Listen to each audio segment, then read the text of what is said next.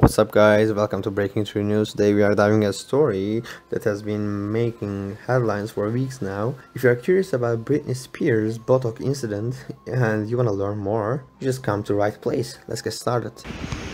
Okay guys, so I found this new thing, it's called SiO. It's basically the replacement of um, um, Botox.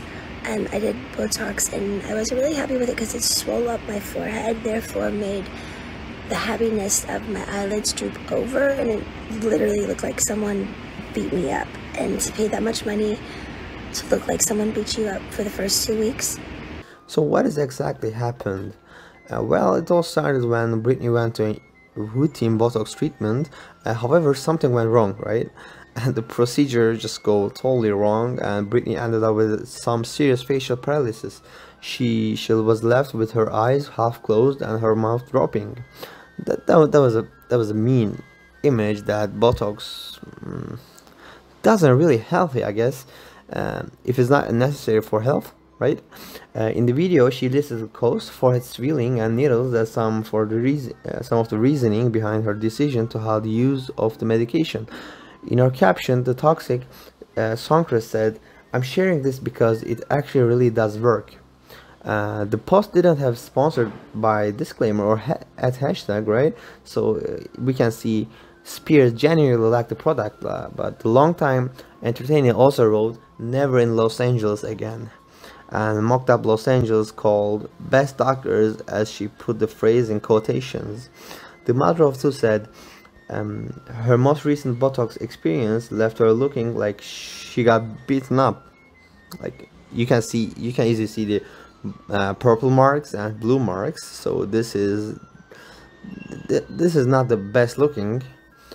Uh, she shared that she can't be seen for two weeks and complained black and blue bruising uh, then the lengthy caption was finished with Britney declaring F word Botox right? It is horrific. SiO is unbelievable. What's the point? So I found the SiO thing, and honestly, it's really nice because it's like putty, and it sticks. It's like um, Play-Doh, and it like sticks, and it pulls up, and it makes your eyes like really, really. I have no makeup on, like really, really bad right now, but um, after I do this, and like I hold it there for like you know like an hour or something like that, and then I look at it like this, and uh, one, I like kind of turn around, is it just really brightens my eyes and lifts my forehead without all those needles the cost and um, perhaps by chance them doing too much Botox and making your eyes droop over and literally looking like someone beat the shit out of you to pay $4,000. It makes no sense at all. SiO. SiO, my friends. SiO. SiO. SiO. Per usual in recent months, the iconic music artist disabled comments for the post. Like, you can understand that, because, you know, people can write anything they want online, so this is this is really bad. Britney was understandably shaken up by, by this experience and she took to the social media to share her story. She posted a series of photos of her face and she wrote about how she was feeling. She said she was devastated and she felt like a freak and she said she also said uh, she, she she felt like uh, she's hiding from the world and she uh, like her fans uh, quickly quickly offered their support and they flooded up uh, followed her social media pages with messages of love and support. Um, they also started a petition calling for a ban of Botox. The petition quickly gained traction and it eventually reached over 1 million signatures. This put a lot of pressure on Botox industry and it led some charges on the way that Botox administrated administrator, right? As a result of Britney Spears Botox incident, accident or incident, whatever you say, uh, the Botox industry became more regulated and doctors are now required to receive more training before they administer Botox and they are also required to use smaller needles um, this, this has helped to reduce the risk of ser serious complications from Botox injections. So, what we learn from the Britney Spears accident story, Botox accident story? Well, I think it is important to remember that Botox is a serious procedure and it is not without risk.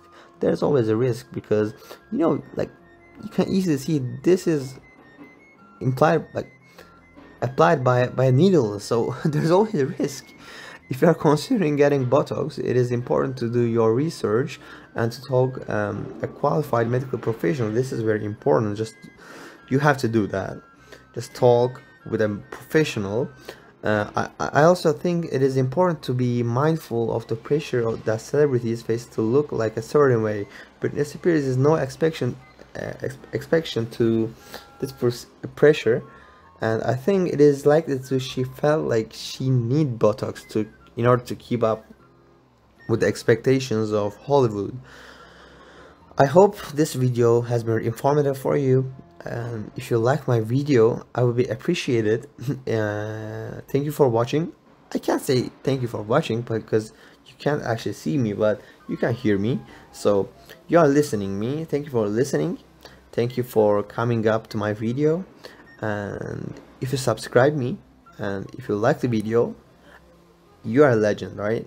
But if you copy the link as well as do that you are a legend of legends. So thank you guys. Have fun. See ya. Oh my god. I'm thinking i'm in my own little world. Oh god man. Are you telling me to stop? You didn't tell me it's your fault. It's not my